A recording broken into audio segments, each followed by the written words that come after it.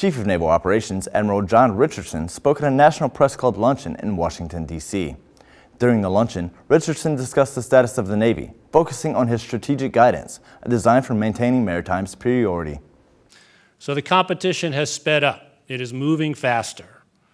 Uh, I will tell you, the thing I'm trying to communicate to my team is that we must respond. We must speed up.